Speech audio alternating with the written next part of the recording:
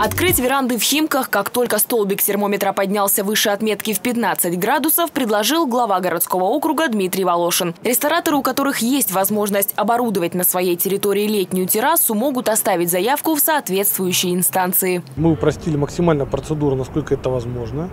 Нужно сделать проект. Этот проект утверждается на комиссии. Нужно отнести проект на Пролетарскую 6 в управление торговли. Каждый день с 9 до 18 принимаются документы через одну неделю комиссия рассмотрит и выдаст разрешение. В этом кафе открыть веранду решили уже сейчас. Последние приготовления перед сезонными посиделками на свежем воздухе. Гости, по словам сотрудников, давно спрашивают, когда, наконец, смогут отдохнуть на излюбленной летней площадке. Остались финальные штрихи, и через несколько дней летняя площадка кафе уже полностью преобразится. Все убираем, все сейчас скоро цветы будет, все столы, на сегодняшний день в Управление торговли и рекламы в Химках обратились уже 8 рестораторов. Четыре заявки на открытие летних площадок согласованы. В соответствии с постановлением администрации городского округа веранды, принадлежащие кафе и ресторанам, могут работать с 15 апреля по 15 октября. Разумеется, в зависимости от погодных условий. В этом году в Химках открытие планируют более 23 летних террас.